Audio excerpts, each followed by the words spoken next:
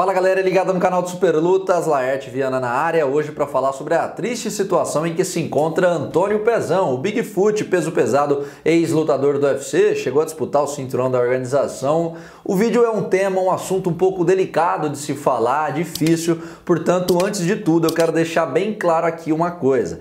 Essa é apenas a visão de alguém que acompanha de perto o esporte, que tem muitos contatos, tem amizade com muitos lutadores. Não estou aqui para, de maneira alguma, ditar regra, dizer o que deveria ou não fazer um homem adulto que paga as próprias contas. É apenas um desabafo em tom de preocupação, beleza? Bom, todos sabem que o Pezão é um dos grandes nomes que marcaram o início da década passada no MMA brasileiro. Chegou a enfrentar Caim Velasquez pelo cinturão do UFC, anotou um nocaute memorável contra Alistair Overeem, travou uma uma guerra contra Mark Hunt, que para muitos é uma das melhores lutas da história dos pesos pesados, nocauteou Fedor Emelianenko, Travis Brown e outros feitos marcantes. Até aí, ok, uma carreira de sucesso, como vários outros atletas com muitos mais altos do que baixos, inclusive o grande problema é o que vem acontecendo nos últimos anos. Só para contextualizar aqui para vocês, a última vitória profissional da carreira do Pezão foi há 7 anos, em agosto de 2015. Inclusive eu estava assistindo em loco o evento lá no Rio de Janeiro,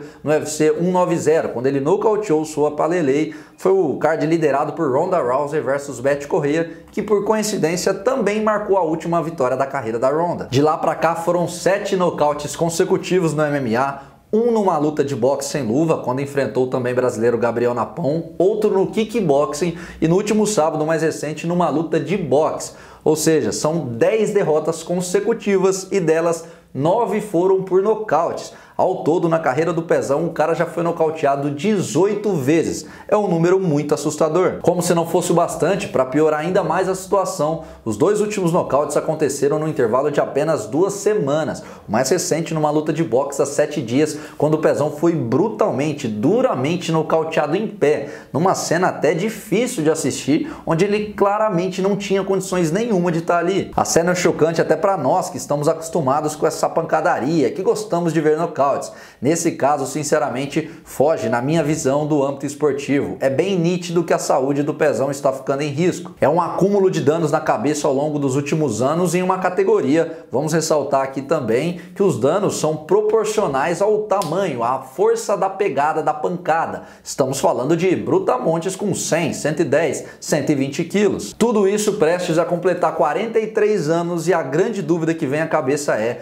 por que, que o Pezão está se submetendo a isso? Eu sinceramente não faço ideia de qual seja a situação financeira dele, se ele conseguiu juntar grana o suficiente para fazer um pé de meia ou não. O que eu sei é que ele ganhou bastante dinheiro, ganhou ótimas bolsas, Peso pesado naturalmente já ganha melhor do que os outros. O Pezão era um cara popular, bastante famoso, então ele ganhou bastante dinheiro. Se juntou ou não, isso já foge do meu conhecimento. Mas o ponto é, se o problema for financeiro, se for, estamos aqui no campo das hipóteses, será que o cara precisa continuar colocando a própria vida em risco para ganhar mais grana, para fazer um pé de meia? Não daria, por exemplo, para montar uma equipe, ser treinador de uma grande de um grande time, de uma grande academia, ou até de repente começar a fazer lutas de jiu-jitsu de grappling, onde você não vai receber tantos golpes traumáticos na cabeça, caso não seja questão de dinheiro, se for mais ou menos do tipo, ah, é o que o cara ama fazer, fez a vida inteira e não tá querendo parar, aí para mim, na minha humilde opinião, é ainda pior a situação.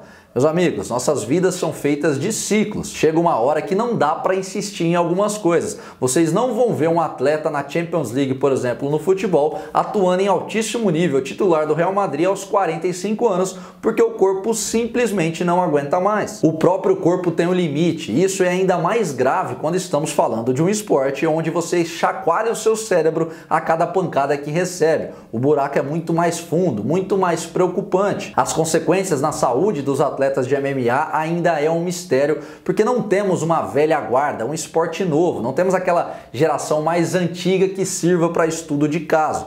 Mas, por exemplo, podemos citar o boxe, onde infelizmente temos inúmeros relatos tristes de atletas, lutadores que ficaram com sequelas. E quem está falando isso não sou eu, um mero jornalista aqui sentado na minha cadeira no ar-condicionado. Quem fala abertamente sobre esse tema e trata com muito cuidado e importância são os próprios lutadores. Poderíamos ficar o dia inteiro aqui citando exemplos de caras que falam que tem a preocupação em parar na hora certa e não passar da linha para não ter problemas de saúde na velhice. O muito respeitado e competente Alex Davis, empresário de vários atletas de MMA e que por muito tempo tomou conta da carreira do Pezão, usou as redes sociais na semana passada para comentar o assunto e escreveu o seguinte: abre aspas. Você não pode defender um homem do seu próprio eu. Eu fiz o meu melhor. O plano era ele parar de lutar há oito nocautes atrás. Ele fez o dinheiro. Eu deixei ele ir naquele momento. Não poderia mais fazer parte disso, mas ele sempre vai com um grande coração e nunca relembra uma perda. Fecha aspas. Vou repetir aqui, não estou ditando regra, querendo falar o que o cara deve ou não fazer, até porque, embora eu tenha contato com grande parte dos atletas, muito por conta da profissão, consegui fazer boas amizades, o Pezão é um daqueles nomes que eu nunca sequer tive nenhum tipo de relação, eu nunca conversei com o Pezão. Então eu sei que se caso o Pezão chegar a assistir esse vídeo, a minha opinião vai valer de um total de 0%, mas fica registrado aqui a minha visão, a visão de quem se preocupa com a situação alheia e mais mais do que tudo,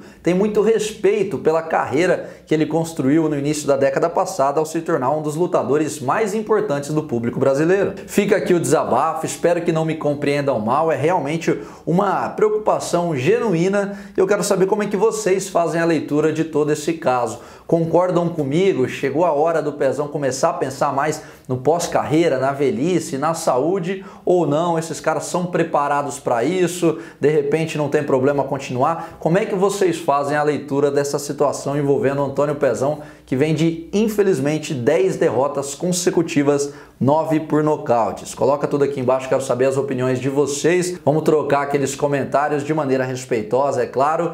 Peço também para quem ainda não está inscrito, se inscrever no canal do Super Lutas, ativar o sino, deixar o like. Nos próximos dias, Patrício Pitbull, Charles do Bronx e mais outras entrevistas que eu vou trazer aqui para vocês. Já combinei, estamos só tentando bater as agendas que estamos na correria, mas vai dar tudo certo. Então tem muito conteúdo bacana vindo por aí. Lembrando da loja do Super Lutas também. O link vai estar tá fixado na descrição. Tem camiseta, caneca, muita coisa bacana para vocês darem uma olhada por lá. Fiquem ligados, hein? inclusive tem uma novidade muito bacana que se tudo der certo vai mudar a chave aqui do canal, vai ser algo bem grande. Não posso falar ainda porque estamos em negociação, mas se der certo nos próximos dias, algo bem bacana para vocês no canal do Super Lutas. Então, conto como sempre com a audiência e com o feedback de sempre. Valeu!